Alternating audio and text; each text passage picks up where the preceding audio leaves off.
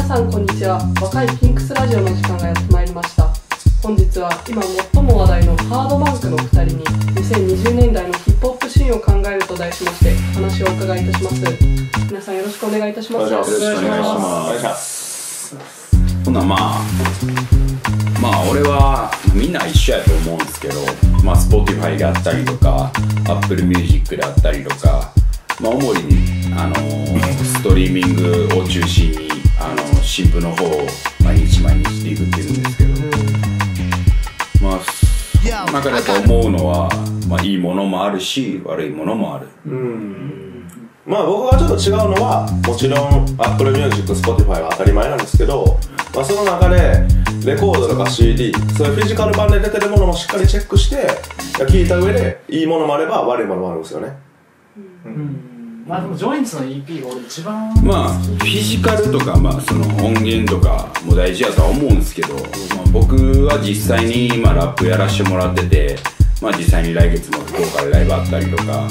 まあ、あの現場でしっかり出てあの回らしてもらって、まあ、ライブをして生の声を聞いてそこでもリグをしてるんですけど、まあその上で思うことはいいものもあるし悪いものもある。うん、まあちょっと違うのはジャスさんの違うのはジャスさん言うてあの週末だけですよねほとんど出てるのって。まあ、僕はあの平日週末関係なくやってるんですよね。で週週34回ぐらい DJ とかライブで現場行くことでいろいろそこでインプットしてるんですけどやっぱりいいものもあれば悪いものもあるんですよ。まあ言うて、まあ、現場現場は言うんですけど、まあ、俺は実際に昼間から週5回あのフェダップってお店で南ホイレで働いてるんですけど、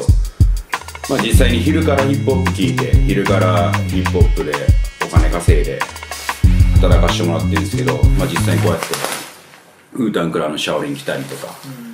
させてもらってるんですけど、まあ、その上で思うことは、まあ、いいものもあるし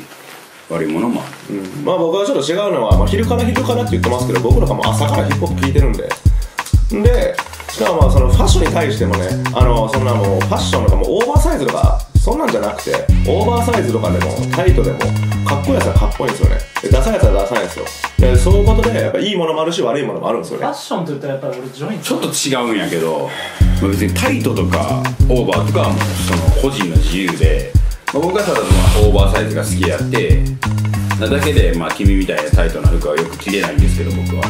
まあ、その上で、まあ、実際僕はそれよりもあのやっぱ大阪の DJ 語る上で相馬さんっていう存在がおると思うんですけど先日こうやって M13 レコードの帽子を実際にもらって、まあ、リアルな人からリアルなものをもらったものを身につけてるって感じ、まあ、僕は全然違そうのな僕はジャス君と違うのは僕はそのリアルなやつリアルにもらうとかじゃなくてやっぱりしっかりもらうじゃなくてやっぱりそういういリスペクトしてるアーティストのものを買ってやっぱり僕はそういうのを買ってやっぱりアメ村とかそういうこの辺の界隈をスケボーとか自転車でそういうのをスピーカーでバコで流しながらやっぱやってるわけですよ。やっぱそういうのをやっぱり合わせてやっぱりいいものもあれば悪いものもあるんですよね。やっぱりザ・ジョインズが絶対一番かっまあそんなん言わしてもらったらまあそのいいもの悪いもので言わしてもらったら僕は実際にいいものでクレイグ G のレコーディングをしっかり生で見させてもらって頭からケツまで。見とってあの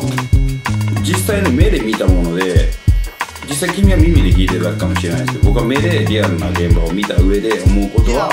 いいものもあるし悪いものも。いやまあジャスさんはまあ見てた見てたり聞いてるだけで僕はエルダ先生が来日してる時とかに一緒にステージでラップししてますからね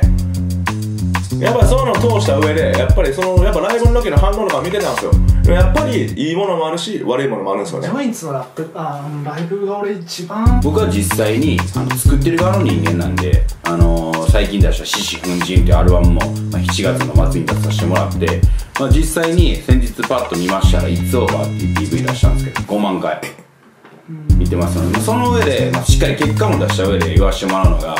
あいいものもあるし悪いものもある、それで結果出てるっておっしゃってるんですか？はだから僕もあの2月にアルバム出してるんですけど「ソウルプレイン」っていう、ねその中の「バキ」っていう曲何枚か言ってるかしてますか？い、1万回ぐらいじゃん。いや100万回やってるんですよ。20倍ですよ。全然違いますよね。でもそのの通した中でやっぱりいいものはいいし悪いものはあるんですよね。再生だけではありますよ